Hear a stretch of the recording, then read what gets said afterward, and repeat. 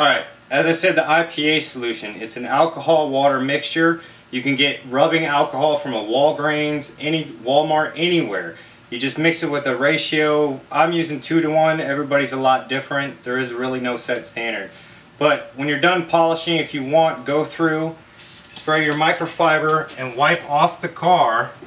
By, and what this does is remove the last of the polish resin on the card, any cracks, anywhere. So then when you go to apply the chemical guys black light in the wax, it'll adhere to the paint a lot better. So again, you just spray the rag, wipe, and then make sure it's all off. And this, you just go over the whole car, and then you we'll go into the black light, uh, the black light.